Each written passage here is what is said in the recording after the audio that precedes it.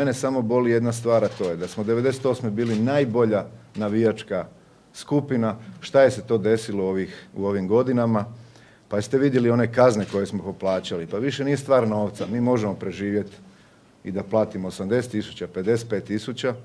Stvar je imidž Hrvatske.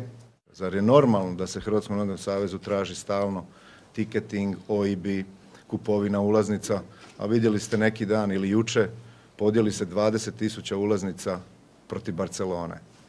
Evo, pametnom dosta.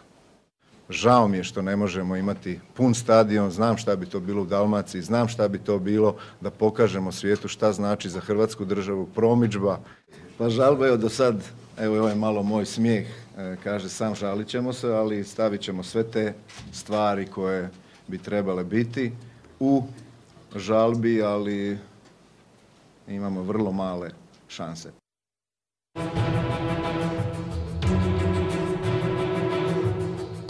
Pjevaj, a nemoj uništavati. Respeito e não discriminação.